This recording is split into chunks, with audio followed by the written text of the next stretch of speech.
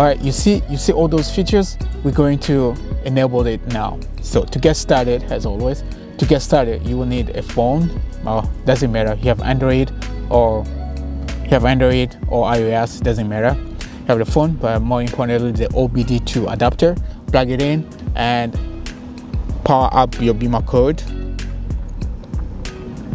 This app go to front electronic modules so we're going to code everything at once because that's how I like it. I don't like to doing each and every one one by one. It's just better to code everything at once and that should be it. Uh, you go to front electronic module, you wait for you wait for it.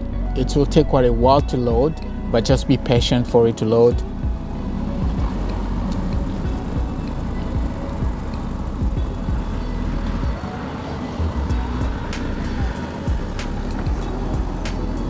Uh, take it quite a while to load but just be patient.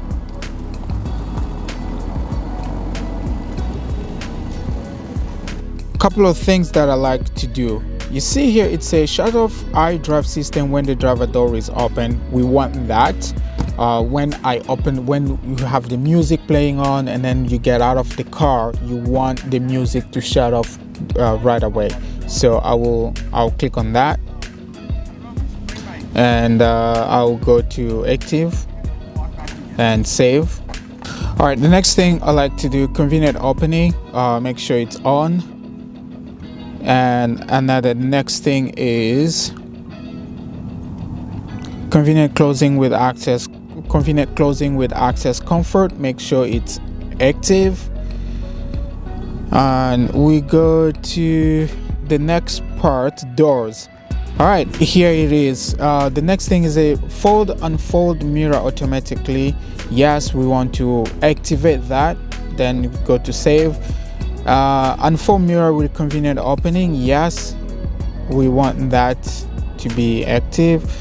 Um, the thing I want to tell you is you know when you get into the into the car there is a drive iDrive notification that say hey please confirm and blah blah blah blah blah blah.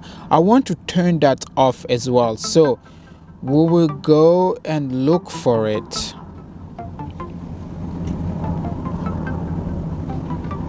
That's about it for now. And what i will do i just click on code. I have all of that and start coding. And that will activate pretty much everything else uh, that you just just you just saw and you wait for a while it it's it's writes really fast.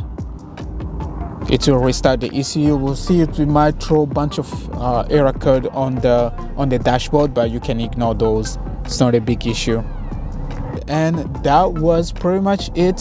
And uh, thank you guys. If you have any question you know if there is any other feature you want me to show you um, stay tuned and uh, catch you on the next one